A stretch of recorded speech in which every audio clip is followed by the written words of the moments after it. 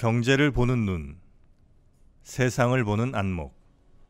우리는 계속 성장해 왔고 앞으로도 계속 성장할 것입니다. 더 많은 사람들이 성장할 수 있도록 3프로 TV도 멈추지 않겠습니다. 바로 지금부터.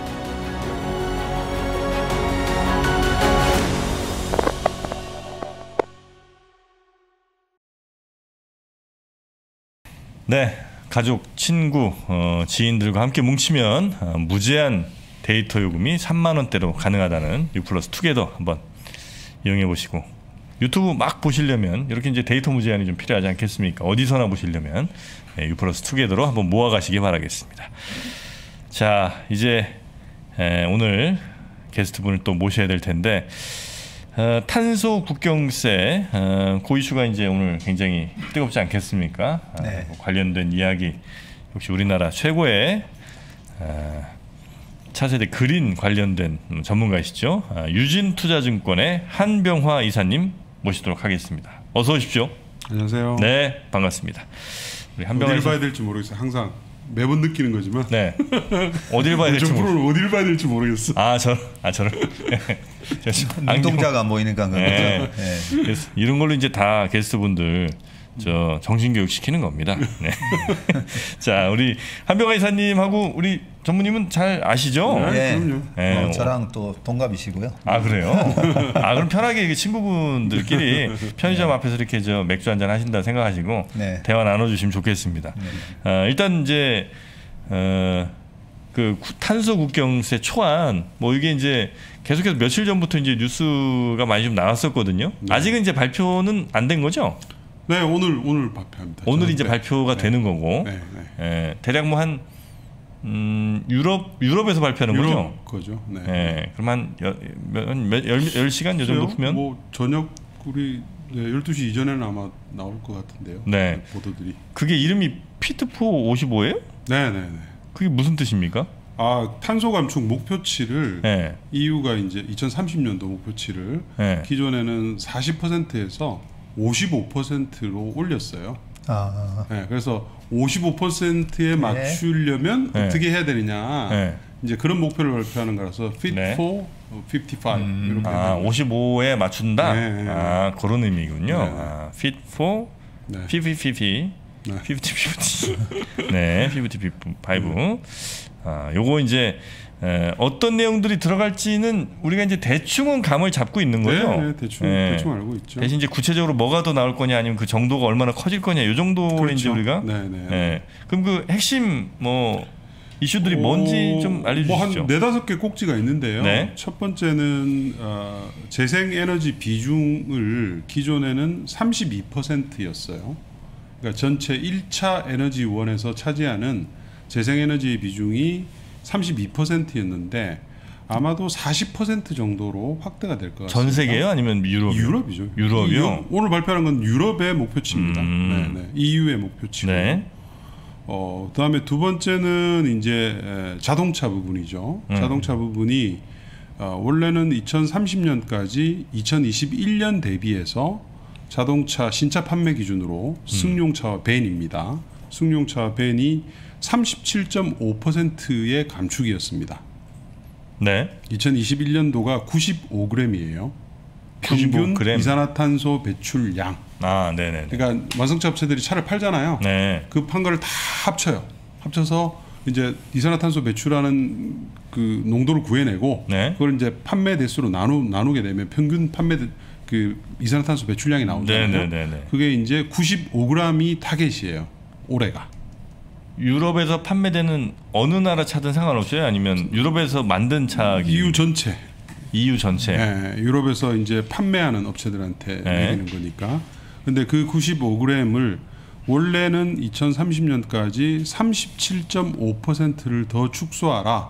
이게 이제 어, 어제까지의 목표였죠. 네. 쉽게 얘기하면.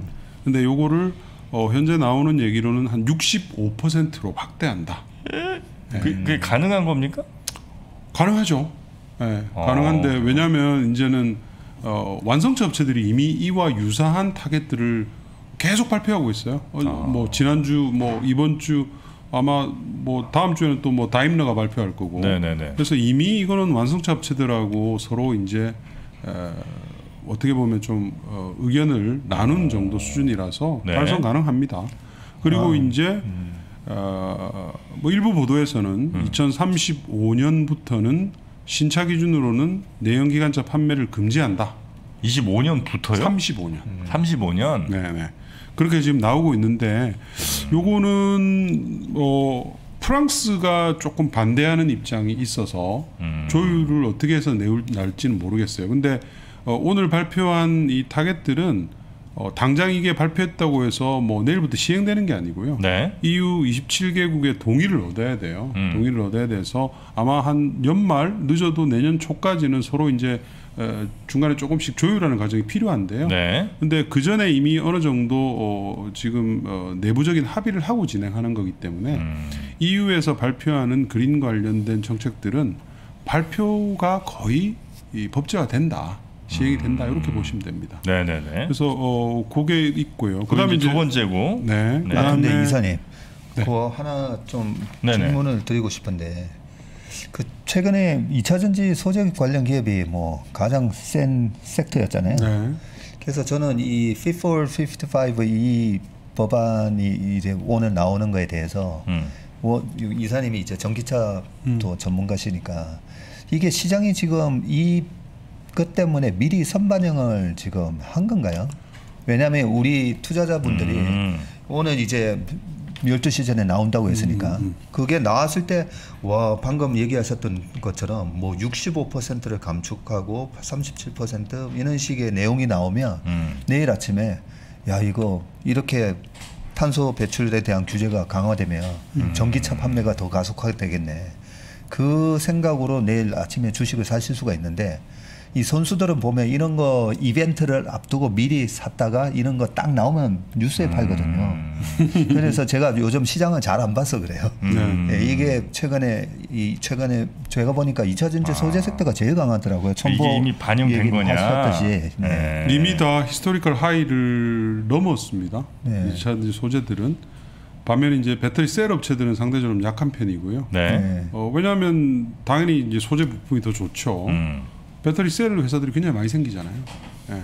그러니까 그 동안은 우리 배터리 셀에 들어가는 소재나 부품 회사들은 음. made in Korea에만 들어갔는데 앞으로는 made in EU, made in 뭐 America 이런 데 다 들어갈 수 있기 때문에 당연히 이제 먼저 움직인 것이고요. 네. 셀 업체들도 아마 순차적으로 움직일 거라고 봅니다. 근데 음. 우리 저기 그, 그 전무님께서 말씀하신 그 우리 선수들 저는 그런 선수들은 나쁜 선수들이라고 그래요. 좋은 선수들이라고 안 그럽니다.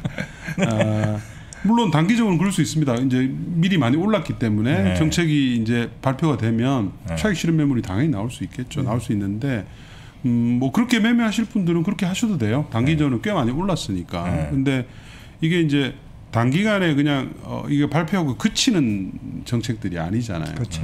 여기에 따라서 완성차 업체들은 또 어, 아주 강력한 목표들을 발표를 하고 거기에 따라서 금방금방 신차 아, 모델들이 팍 나옵니다. 음. 플랫폼이 이제 어느 정도 갖춰져 있기 때문에 네. 굉장히 빠른 속도로 나오고요. 이유만 있지가 않죠. 미국의 발표도 이번 달 내지는 어, 늦어도 다음 달에 또 나옵니다. 아, 비슷한 류의 네, 발표가 네, 비슷한 류이고 미국은 어, 오바마 때 이미 자동차에 대한 어, 연비 규제를 네, 굉장히 강화를 했었는데 트럼프가 다 이제 박살을 내버렸죠. 네, 네. 아예 없게 만들었습니다. 음. 그래서 미국의 전기차 판매가 지난 2년 동안 19, 20 안 좋았거든요. 음. 예, 원래 미국이 뭐 제일 큰 시장이잖아요. 중국을 제외하면. 네. 근데 전기차 판매가 거의 뭐 성장을 안 했었는데 어, 바이든이 되면서 이제 시그널을 줘서 굉장히 좋아요 지금 전기차 판매가 음. 굉장히 살아나고 있는데 거기에 이제 오바마 때 도입했던 아주 강력한 연비 규제를 도입을 하게 되면 네. 어, 당연히 이제 완전 불을 붙이는 거죠 시장에. 음. 그래서 어, 미국 역시 우리 배터리 회사들이 선점하고 있는 시장이잖아요. 네, 네. 중국 업체들이 또 들어가기가 쉽지가 않은 시장이기 때문에 음. 어, 지금 배터리 소재 부품들에서 일어난 랠리는 어, 단기적으로 어, 선수들이 왔다 갔다 왔다 갔다 해봤자 음. 어, 그거보다는 그냥 진득하니 가지고 계시는 분들이 네. 아까 얘기하셨잖아요. 계좌를 그냥 묻어놨다고 그렇게 음. 하시면 됩니다. 클로징 했습니다 저는. 네, 네. 그렇게 하시면 될 것 같고요. 그게 오히려 더 나을 것 같아. 네, 네. 네. 그다음에 이제 그 세 번째, 세 번째. 탄소 국경세. 네. 탄소 국경세에 대한 이제 메커니즘이 발표가 됩니다. 네. 어, 어떻게 이제 적용을 할 것이고 어떤 산업에 할 것이고 스케줄은 어떻게 되느냐 음. 뭐 이런 것들이 나오는데요. 지금 뭐 개략적인 나온 얘기는 2023년 정도부터 이제 일부 산업에 대해서 적용을 한다. 어, 일부? 네, 아마도 이제 뭐, 어, 뭐 철강이라든지 네. 화학이라든지 그 다음에 이제 그, 그 fertilizer 뭐 뭐라 그러나 그 한글로 뭐라 그래야 될지 모르겠네요. 그러니까 비료 비료 산업, 예, 비료 아. 산업 요러, 요렇게 이제 좀 어, 탄소 배출을 많이 하는 네네네. 어, 산업들에 대해서 일단 적용을 할 것 같고요. 네. 어, 탄소 배출권 가격을 기준으로 삼아서 아마 어, 그 관세를 부과할 것 같아요. 탄소 배출권 가격에 근거해서 그렇죠. 그러니까 어, 톤당 탄소 배출권 가격이 이유가 있잖아요. 네네. 이유가 있는데 그거를 기준으로 해서 탄소 배출하는 양이 있으니까 음, 그 그 배출하는 갖고. 양을 우리 기준에 마- 봤을 때 우리 기업들은 이 정도 배출을 하는데 네. 니네는 왜 이렇게 많이 배출해? 음. 그러면 경쟁력이 약화되는 거고 이유가 음. 어, 단가가 어쨌든 싸질 거 아니에요. 네. 그리고 여기 EU 영내에 있는 기업들이 이, 이 영내에 있는 그런 탄소 배출에 관련된 여러 가지 이 비용 부담을 완화시키기 위해서 음. 우리나라에 스- 공장을 세울 수도 있잖아요. 그래서 역수입할 수도 있는 문제가 네네. 있기 때문에 쉽게 얘기하면 공짜 점심을 없애겠다는 거예요. 탄소 음. 감축을 하는 데 있어서 그렇게 되면 이제 어, 대한민국 같은 탄소 다배출 국가에서 있는 제조업은 아주 직격탄이겠죠. 어. 네. 그래서 이런 얘기를 아마 우리 정부를 기억하실 거예요. 제가 여러 번 했을 거예요. 아, 그럼요, 그럼요. 네, 여러 번 어, 했고 뭐 3, 4년 전만 하더라도 이런 얘기하면 뭐 우리 정부 부처나 이런 데서 뭐 글쎄요 알겠습니다. 뭐 이 정도 이 정도 되는 근데 요즘 뭐 우리 그 산자부 장관 뭐 보시면 뭐 난리가 나셨죠. 아주. 어, 한국은 면제를 받아야 된다. 어, 얼마 전에 이제 EU 그 그린 예, 그린딜 수석 부위원장이 한국에 왔었거든요. 네. 아마 며칠 전에 왔다 가셨을 거예요. 뭐 거기 또 EU에 가서도 그렇고 한국은 EU와 비슷한 탄소 배출권 거래 제도가 있으니 우리는 우리한테 과세를 하면 이중 과세다. 음. 면제를 해줘야 된다. 네네. 이렇게 이제 주장을 하셨어요. 충분히 이 정책 당국의 수장으로 할 수 있는 얘기입니다. 우리 업체들 보호해야 되니까. 음. 어, 그러나 먹히진 않을 것 같아요. EU의 생각을 감안을 하면 당연히 네. 안 먹히겠죠. 예. 왜냐하면 아주 표면적인 비교만 하더라도 EU의 탄소 배출권 가격은 50유로 정도 됩니다. 톤당. 가 격이 7만 급등을 원 했죠. 정도. 예. 아. 50유로인데 뭐 7만 원 정도 되잖아요. 그죠? 7만 원. 우리나라 탄소 배출권 가격은 최근에 조금 올라서 2만 원이 안 돼요. 음. 예. 어, 뭐 니네는 왜 이렇게 싸지? 어이구 불공정 아주 뭐, 뭐라 그래요? 상계 관세를 때릴 수도 있는 음. 예, 그런 개념이에요. 그래서 예를 들어서 니네가 저 뭐 철강 뭐 1톤 만드는 아 철강 뭐 한 10톤 만드는데 탄소가 1톤이 나왔다. 그럼 2만 원을 내야 되는 거예요. 탄, 저 그렇죠. 철강 10톤 예, 만드는데 그렇죠, 그렇죠. 누구한테 내요, 그 돈은? 그 돈은 이제 EU 당국에다 내는, 내는 거죠. 당연히. 아니, 지금 지금 예를 들어서 1톤이 나왔어요, 탄소가. 음. 그 2만 원 내야 된다는 거 아니에요? 그렇죠. EU, EU로 수출을 할 때, 아, 우리 수출할 제품을 때? 수출할 때, 우리 당연하죠. 국내에서 거래할 땐 상관없고. 아, 이건 당연하죠. 예. 아, 그렇습니까? EU로 그걸 내그, 내거나 음. 아니면 테슬라가 순이익이 난게 아, 자동차를 어디서 팔아서가 사온다는 아니라 거죠, 참. 네, 뭐, 전기차를 생산하니까 그만큼 탄소를 배출을 안 하는 차를 만들었으니까 네네. 그만큼의 테슬라는 또 탄소 배출권을 가지고 있는 거죠. 음. 그러면 이제 테슬라로부터 탄소 배출권 시장에서 사오든가. 또 사오든가 자동차 부분은 이미 뭐 이유는 그렇게 하고 있습니다. 네, 크레딧이라 네, 네. 그러죠. 그거를 음. 이제 크레딧을 확보한 테슬라는 이제 그걸 시장에 팔 수가 있고, 네. 네. 예, 그래서 이제 이익을 많이 나는 구조인데 그거를 이제 에, 모든 제조업에 다 확산시키겠다는 얘기고요. 음. 점진적으로 하겠다. 2023년부터 시작을 하고 네. 본격적으로는 아마 2027년 정도에 음. 에, 다 오픈을 하겠다. 이제 이런 내용이고요. 이미 뭐 인도나 중국은 반대를 하기 시작을 했고요. 네. 어 근데 어, 이번에는 쉽지가 않을 것 같아요. 음. 어, 그렇게 한다 하더라도 일단 바이든이 지금 버티고 있고 네네. 바이든도 역시 비슷한 개념의 탄소 국경세에 대해서 이미 지금 어 그 안들을 갖다 짜고 있습니다. 음. 재무부하고 그리고 미국의 환경청 뭐 이런 어, 그다음에 에너지부 이런 쪽하고 이제 짜고 있어서 그 일종의 관세인 거네요, 그죠? 일종의 관세고요. 예. 자기 자신에 있는 산업들을 보호하기 위한 것, 예. 또 자기 자신 국가에 있는 그린 산업들을 육성하기 위한 것. 음. 쉽게 얘기하면 앞으로 전 세계의 경제 구조가 이런 저탄소 구조로 바뀌는 거죠. 전체가 다. 근데 이거 뻥칠 수는 없습니까? 아, 뻥, 뻥치는 거요. 글쎄요, 그거는 국가 대 국가의 계약인데 어떻게 뻥을 아니 아니 치겠습니까? 기업 대 국가죠. 왜냐면 이제 예를 들어 네. 포스코가 예, 유럽에 수출을 하는데 예. 우리는 사실은 탄소를 이만큼 발생시켰지만 아니 뭐 기업이 그럴 수 있는 어, 거 뻥칠 아닙니까? 수 있죠. 뻥치는데 네. 뻥치게 되면 이제 포스코는 이제 주식시장에서는 끝장이 나겠죠. 예. 뻥친 ES 거 누가 누가 ESG가 가장 중요한 화두잖아요. 네. 그러면 포스코가 그런 뻥을 쳤다. 예를 들면 아 포스코 죄송합니다. 아, 그냥 하는 얘기입니다. 네, 이건 네. 예고. 네. 만약 그렇게 되면 어 그게 이제 당연히 들통이 나겠죠. 일정 시점이 되면은 그러면 그 회사 주식이 남아나지 않겠죠. 아 그런가요? 아 그럼요. 이거는 국가와 국가의 어떤 신뢰 문제다. 신뢰 문제고 네. 또 국가와 기업가의 또 신뢰 문제고 하기 네. 때문에 에, 이제 그뭐 그걸 뭐 뻥을 치다 아, 그렇게는 어려울 것이다. 네, 네. 예전에 그 폭스바겐이 네, 그럼요. 폭스바겐 디젤 자기- 스캔들. 네, 아. 디젤 스캔들 나왔던 게. 뻥치다가 걸린 거잖아요. 네. 아 그러네. 그냥 네. 뻥칠 수는 있죠. 그렇죠. 뻥칠 수는 있는데 뭐 철강 회사가 냉연을 만들고 뭐 열연을 만들고 할 때 보면 빤합니다. 기본적으로 조사해 보면 아. 그냥 빤하잖아요. 아 그래요? 그러면 전체적으로 생산하는 철강 조수소가 뭐 10만 톤 이러면 음. 대충 곱하기 해서 너네는 이 정도 음. 나올 거다라고 충분히 계산할 수 있는 거고. 근데 이런 탄소 국경세니 이런 게 만드는 이유가 음. 저는 보면 결국은 선진국들이 영국이나 뭐 나중에 과거에 뭐 1800년대부터 1차 산업, 2차 산업 하면서 지네들은 이렇게 엄청난 탄소 배출하면서 컸잖아요. 음. 근데 이제는 그런 국가적인 그런 경쟁력이 없다 보니까 음, 개발 걸로. 도상국한테 저는 덤탱이 씌우는 사실 그런 정책이라고 보는데 아. 어쩔 수 없어요.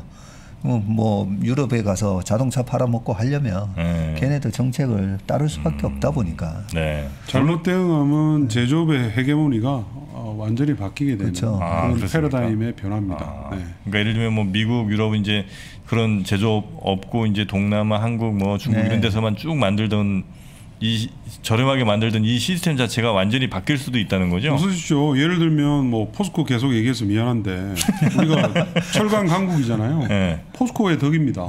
근데 포스코는 탄소 배출을 많이 하고 있고 예, 어, 포스코나 중국 업체들 때문에 EU의 철강 산업은 쇠락했거든요. 예. 근데 지금 어, 철강 제조법에서 코크스를 빼고 네. 철강을 녹일 때 수소로 하는 수소 환원법은 EU가 제일 앞서 있어요. 음. 중소 철강사들이 예, 뭐 티센크루까지 큰 회사들은 많지는 않지만 네. 아, 중소형 철강 회사들은 이미 지금 테스트 파일럿 프로젝트를 아. 성공을 시켰고요. 탄소 안 나오는 철강이라는 네, 거죠. 탄소를 안 나오게 하더라도 안, 하든지 굉장히 축소하는 네. 부분을 보통의 웬만한 지금 큰 철강 회사들도 2030년도 중반이면 네.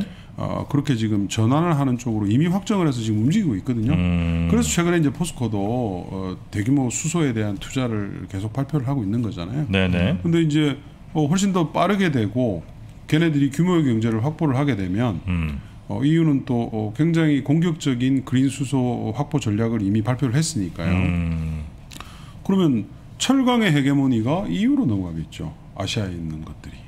그렇죠. 어, 그렇겠네요. 예. 그렇죠. 예.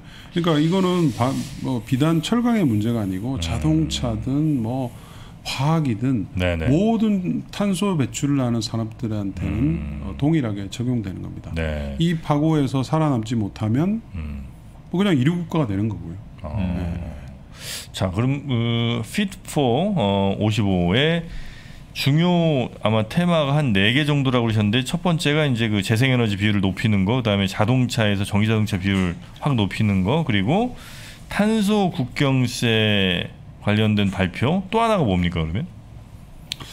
아니요, 그 꼭지는 한열한 두세 개 정도가 아, 있는데요. 아, 많아요? 예, 네. 많은데 뭐이 정도가 이제 제일 중요한 것들. 또 뭐 조금 어, 의미 있게 나오면은 이제 화석 연료에 대한 세금 세금 제도를 완전히 바꿉니다. 화석 연료에 대한 세금이요? 그러니까 예를 들면 가스, 개솔린, 네. 우리 휘발유, 그다음에 난방용 뭐 천연가스, 뭐 난방용 난방유 네. 이런 것들에 대해서 세금을 어 굉장히 이, 그 누, 이 굉장히 이 단계적으로 올리면서 음. 많이 부과를 하게 될 겁니다. 그거는 이미 독일은 이미 시행을 하고 있어요. 네네네. 예, 예. 그래서 그렇게 되면 이제 쓰고 싶어도 많이 쓸 수가 없는 비싸서 못 쓰게 만든다. 비싸서 못 쓰게 만드는 쪽으로 이제 가게 되고요. 거기서 생긴 세원을 가지고 이제 그린 산업을 지원을 하는 것이죠. 음, 그런 것들이 이제 이번에 쉽게 얘기하면. 탄소세의 개념입니다. 네 네 네. 그리고 조금 더 재밌는 얘기를 드리면 네. 항공에 대해서도 음. 어, 아주 어, 강력한 어, 규제가 나올 겁니다. 항공 네. 그러니까 비행기 타는 거예요? 그렇죠. 비행기 근거리 비행 이런 것들에 대해서는 네. 워낙 이제 항공이 이 탄소 감축을 하기 힘든 영역이잖아요. 그렇겠죠. 예, 예. 기름 자체가 뭐 이게 뭐 어, 이 탄소를 너무 많이 포함하고 있고 또 음. 강하게 이제 이 뿜기 때문에 네. 그래서 어, 다양한 어, 이 근거리 항공을 어, 저 이게 저해시키는 음. 낮추게 하는 그런 이제 정책들이 나오는 것이죠. 아, 웬만한 거리는 저 비행기 타지 세금을 많이. 부과하는 거죠. 예, 웬만한 거리는 그냥 기차 타고 다녀라. 아, 그렇게 간다는 거예요? 그렇죠. 예, 예. 그렇게 지금 어, 정책이 나오고 있어서 이런 부분들은 EU뿐만 아니라 앞으로 웬만한 국가들로 다 옮겨질 정책들이에요. 예. 어, 아, 비행기가 공해 물질이 많이 나오는군요. CO2 배출이 굉장히 크죠. 비행기가. 예, 그럼요. 아, 그럼 또 항공주 갖고 계신 분들은 좀 약간 걱정되실 수 있겠네요, 그죠? 뭐 우리나라에 당장 해결되 해당되지는 않겠지만 네. 중장기적으로 봤을 때는 일반 어 그러니까 근거리 비행을 많이 하는 뭐 소위 하는 LCC라 그러잖아요. 네. 네. 그런 회사들한테는 어 굉장히 큰 위기로 작용할 수가 있습니다. 아, 그러니까 이런 변화들을 우리가 좀 잘 캐치하고 있어야 엉뚱하게 당하지 않을 거 아닙니까? 오늘 굉장히 중, 중요한 얘기 네. 해주셨네요 보니까 이게 전부 다 기업의 코스트로 직결되는 문제들이거든요. 음. 그렇죠. 어떤 기업한테는 그쵸. 코스트고요. 어떤 기업한테는 굉장히 큰 기회로 작용을 하고 예. 있죠. 아까 뭐 테슬라 같은 기업은 네. 공짜로 그냥 네, 네, 탄소 네, 네. 배출권에 대한 크레딧이 생기는 거고 네. 음. 포스코가 됐든 방금처럼 뭐 항공회사가 됐든 거기에 대한 비용을 음. 크레딧을 사와야 되니까 그러면 우리가 기업에 결국은 이익이 성장을 해야 되는데 음. 그 매출이 늘어나고 해도 여기에 대- 들어가는 코스트가 늘어나는 거죠. 네, 네, 네. 근데 그 유럽이 이렇게 굉장히 환경 문제에 있어서는 항상 제일 굉장히 강하게 추진을 했고 지난번 트럼프는 또 뭐 파리 기후 협약 이런 거 우리는 안 한다 뭐 하면서 그렇게 됐는데 미국은 요즘 어때요? 계속 따라가는 분위기입니까 아니면 아니요, 미국은 바이든 당선되고 나서 지금 이제 다시 헤게모니를 쥐었죠. 네. 쥐었고 굉장히 강하게 푸시를 하고 있고요. 음. 어, 어, 사실은 뭐 2.25조 인프라 부양안, 인프라 부양안이 어, 사실은 그린 부양안이에요. 네. 근데 이제 이게 어, 바이든이 아주 그 추진을 강하게 하다가 어, 민주당 내에 문턱에 걸렸죠.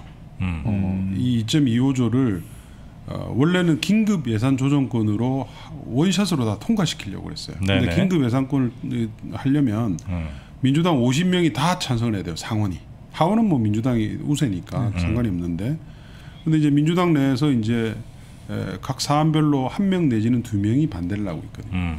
그래서 이제 이게 하세월이 되는 거죠. 그러면. 네. 어, 그래서 이제 에, 오바마 때 사실 이런 거를 많이 경험을 했어요. 바이든. 음. 그래서 꾀를 낸 거죠. 일반 공화당이 찬성할 일반 인프라 부양안 그걸 이제 확 스케일 다운해서 음. 한 5천억 불, 5천 몇백억 불 이렇게 해서 공화당 합의해서 일단 먼저 통과시키자. 네. 그리고 긴급 예산 조정권을 연내에 음. 연내에 그린 산업에 집중을 해서 이거는 그냥 그 사이에 우리가 이제 민주당 의원들을 어, 설득을 해서 음. 완전히 통과시키자 하는 쪽으로 전략을 바꿨고요. 네. 지난주에 그것과 관련돼서 백악관에서 어, 자기들이 추진하는 이 그린 인프라 부양안에 대해서 레드라인을 발표했어요. 음. 그러니까 이거는 꼭 지킨다.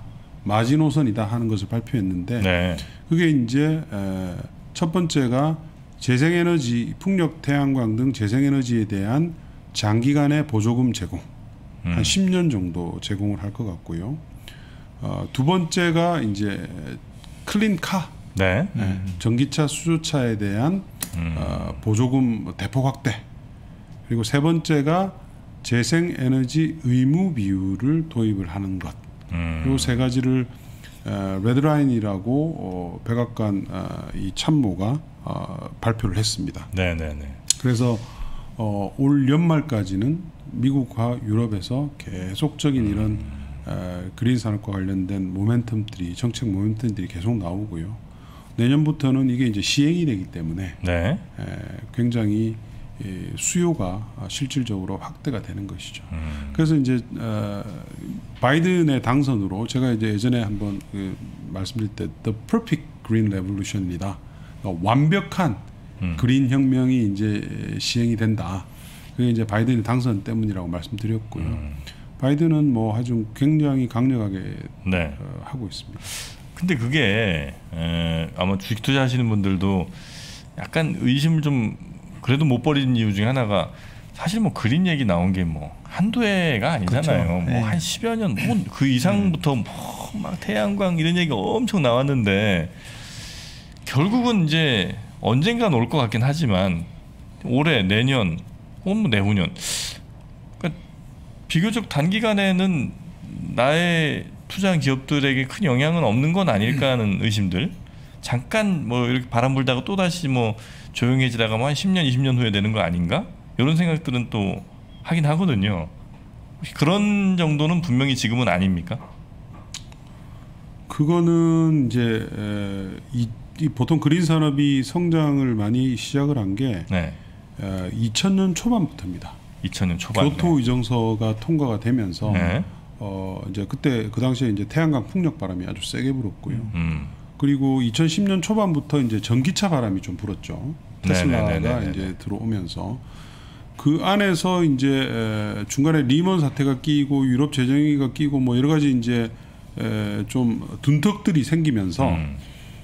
어, 주가상으로는 사실은 아직 회복 안 된 주식들도 덜어 있긴 합니다. 음. 덜어 있긴 하는데 대표적으로 제가 굳이 뭐 이렇게 말을 안, 안 드려도 테슬라 투자하신 분들 생각 한번 해보세요.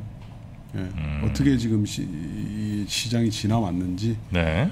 어, 웬만한 그린 산업들은 어, 쉽게 얘기하면 그냥 던져놓고 계좌를 닫아놓고 네. 어, 보시면 뭐 변화를 우리가 알 수 있잖아요. 그러니까 어, 저한테 이제 그, 그런 이제 항의들이 굉장히 많이 들어와요. 그러니까 뭐. 뭐 전기차 뭐 제가 뭐 전기차 안 좋을 때마다 제가 나와서 얘기하잖아요. 좋을 때는 저는 별로 나와서 얘기를 안 해요. 안 좋으면 제가 나와서 아마 이 계속 보신 분들은 계속 얘기를 하죠. 별거 아닙니다 이거. 음. 근데 이제 주가가 뭐 한 2, 3개월 빠져요 계속 음. 그러면 빠지면 이제 어 저거 미친 놈이다. 맨날 좋다고만 얘기한다. 네. 지금 보세요. 지금 네. 다 지금 역사적 고점이 다 넘었잖아요. 소재주들은 그렇죠. 웬만한 네. 것들은 그죠. 아, 그러니까 에, 이게 이제 에, 본인의 이 주식하는 이, 이 기간이 언제인지를 그럼 본인이 설정할 수밖에 없어요. 네. 네. 내가 단기간에 설정하는 거면 음. 어, 거기에 맞춰서 이제 매매를 하셔야 되고요. 음. 근데 저는 이제 그렇게 얘기를 하죠. 탄소 중립이 2050년까지의 타겟이잖아요. 네. 그렇잖아요. 그죠? 그리고 이게 본격적으로 시작된 게 이제 2020년 근처부터 시작이 됐으니까 음. 앞으로 30년간의 랠리예요. 음. 30년간의 랠리고 그 중에서도 앞으로 일어날 2030년까지의 랠리가 가장 뜨거울 겁니다. 2000 30년까지. 지금부터요? 10년간의 랠리가 네. 가장 뜨겁겠죠. 성장률이 굉- 제일 높을 거니까. 아. 그렇죠. 그러니까 어 그냥 상식적인 투자를 한다면 네. 앞으로 10년간은 어 그린 산업에 대해서 글쎄요. 저점 매수하는 전략이 맞지 않을까요? 지금이 저점이에요? 뭐 2, 3년 지나면 또 지금이 저점이겠죠. 아. 4, 5년 지나면 또 그때는 더 저점이었을 것이고요. 그래서 예. 어, 저는 그런 생각을 합니다. 이게 에, 산업이 보통 네. 어, 한 penetration 그러니까 예, 그확 비중 기준으로 한 3, 40% 정도 되면 그때서부터 이제 약간 성숙 산업의 냄새가 좀 나죠. 음. 예. 그러니까 그 그렇게 되기 전까지는 네. 어, 굉장히 이 고평가를 받을 수밖에 없고요.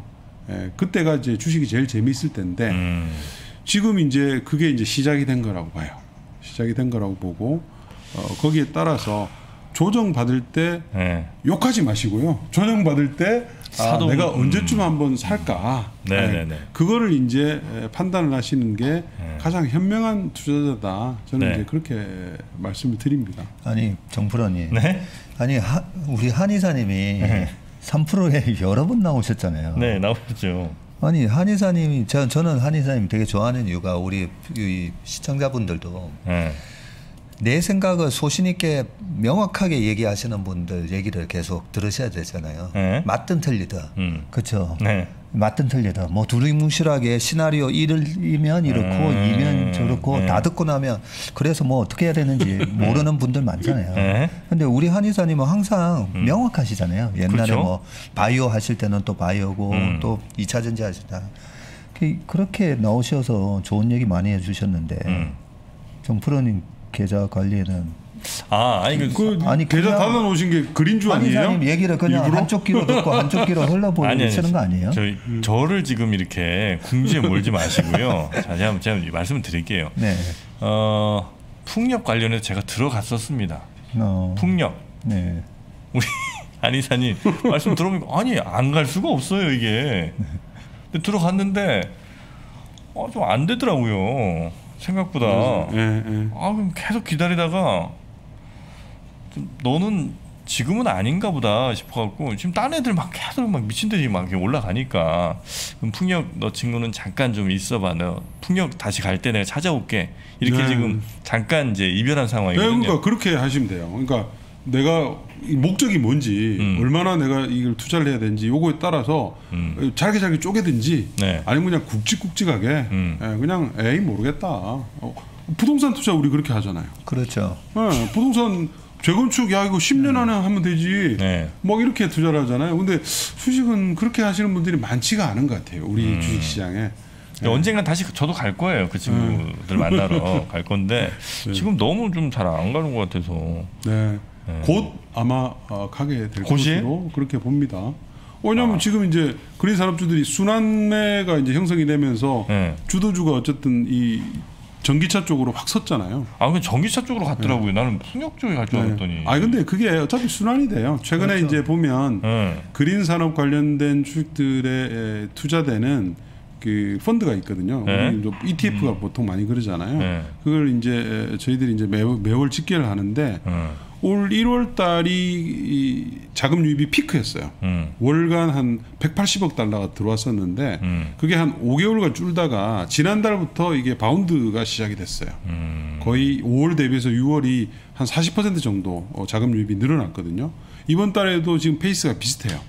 비슷해서 음. 아마 이게 거의 V자 반등으로 어, 나올 가능성이 높고 네. 지금 말씀드리는 정책 이런 에, 그 드리븐하는 이런 것들이 계속 나오기 때문에 네, 네, 네. 아, 관련된 이제 뭐 재생에너지든 뭐 수소든 전기차든 네. 이런 쪽에 투자하는 ETF들로 자금이 굉장히 많이 들어올 것이고요. 그래서 네, 네. 이제 어, 또 그, 그런 자금들이 이제 당연히 음. 관련된 종목들에 이제 투자가 될 거니까요. 네, 그 그린 관련해서 이제 리포트를 지난 주에 쓰신 거죠. 네, 뭐 계속 쓰고 계속 있죠. 쓰고 계시지만 네. 그 중에 조금 더 어, 타픽이라고 그럽니까? 하여튼 제일 저 선정하신 기업들은 어떤 기업들이 좀 있는지 그래도 네. 좀 알려주시면 더 좋겠습니다. 기업은 저희가 이제 최근에 전기차 쪽을 역시 제일 많이 얘기를 했죠. 네. 산업들의 워낙 지금 전기차가 판매가 너무 좋아요. 전기차 판매가 이렇게 전 세계에 골고루 다 좋은 적은 없었었어요 이때까지. 중국이 좋으면 미국이 안 좋고 네, 네. 뭐그 막 이렇게 왔다 갔다 했는데 지금은 어, 미국, 중국, 유럽 모두 다 좋고 네. 어, 우리가 예상했던 것보다 훨씬 더 좋아요.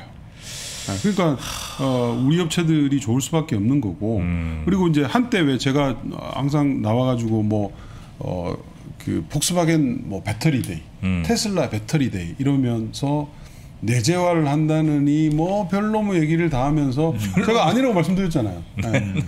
그 친구들이 내재화를 한다는 것의 개념은 예. 같이 하겠다 배터리 셀 업체들이랑 네. 이런 개념이라고 말씀드렸고 예. 파트너는 대한민국이 가장 유력하다 예. 기술적으로 가장 앞서 있고 아. 어, 단가 경쟁도 가질 테니까 그렇잖아요 그죠 그래서 지금 우리 업체들은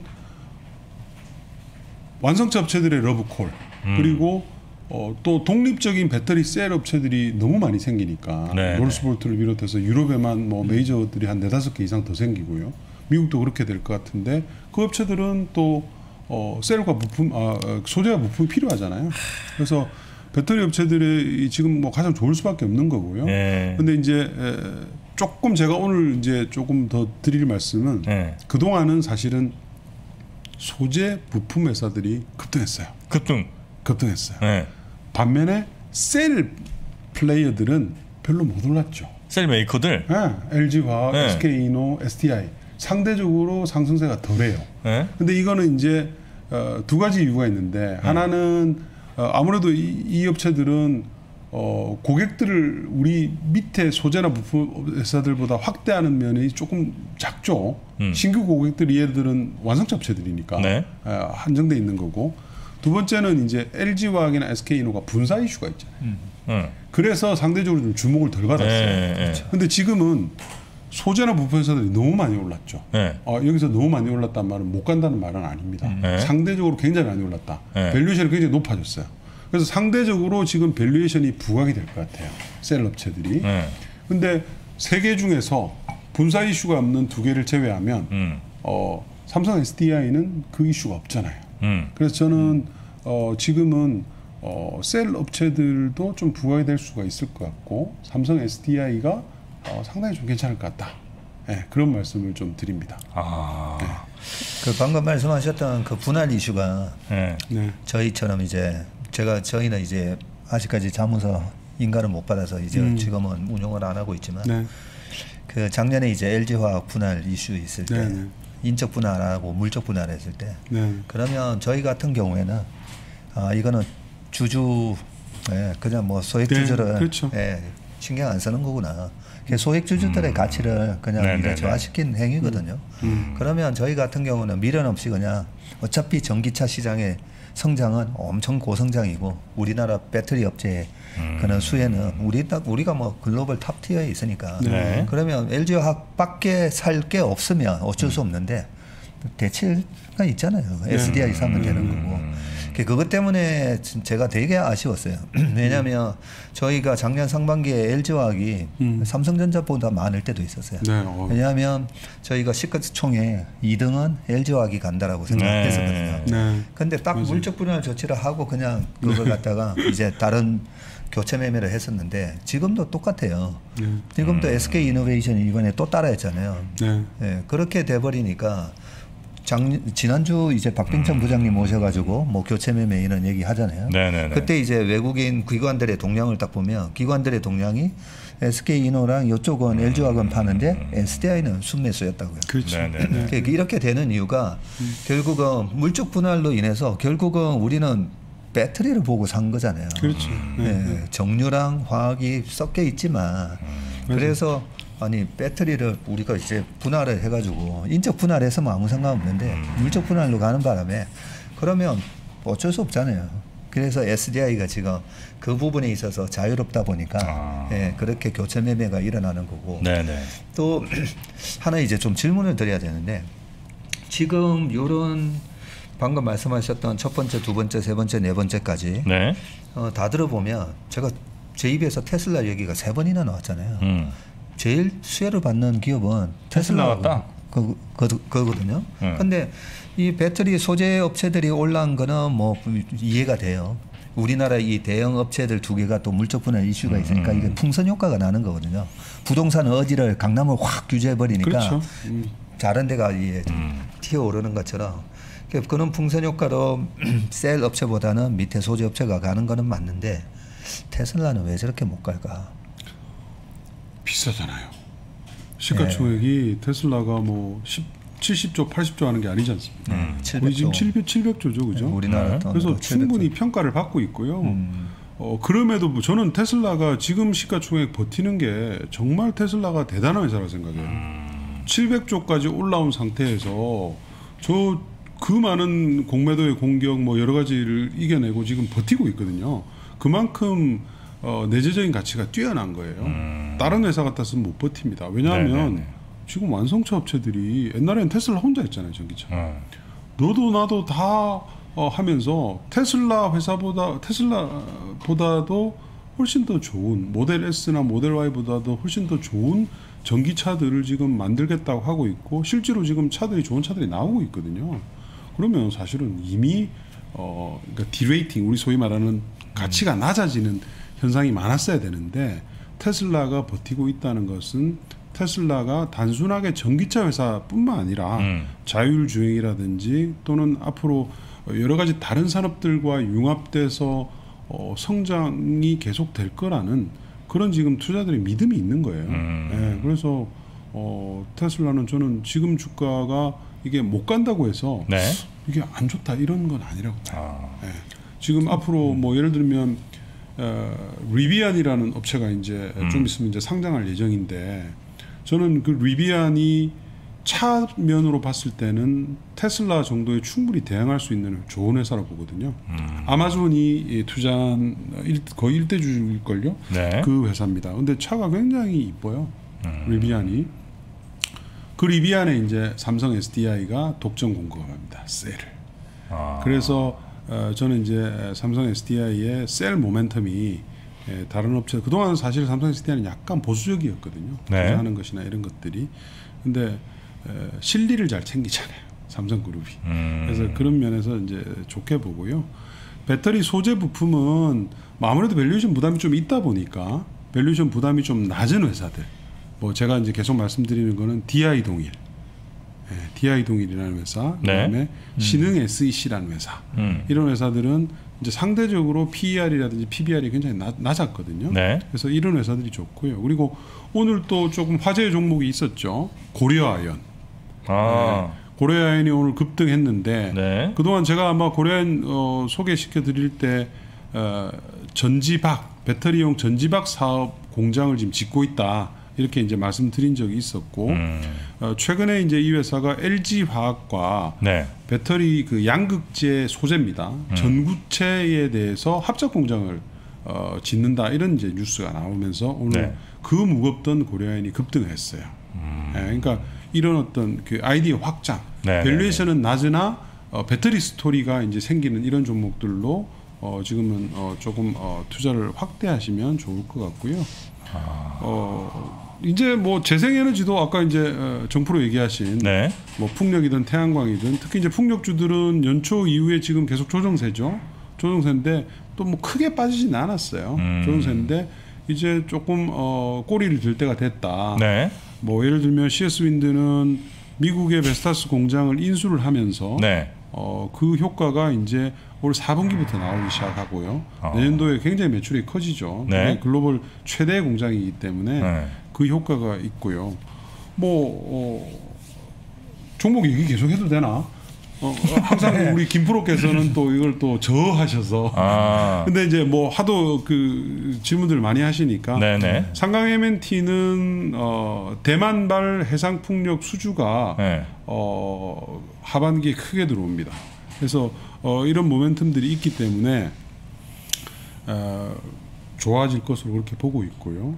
뭐 수소는 뭐 당연히 지금 어, 다음 달에 일진 하이솔루스라는 어, 종목이 상장을 합니다.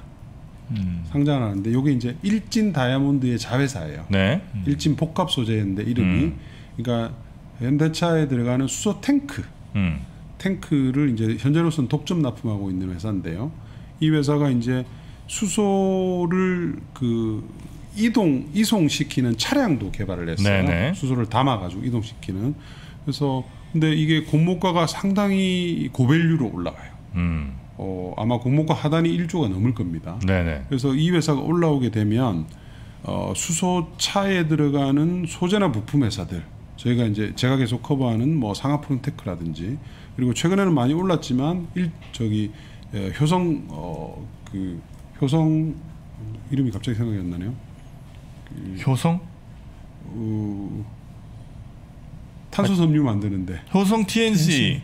아, 아니에요? 첨단 소재? 효성 첨단 소재. 네. 예, 역시 효성 첨단 소재.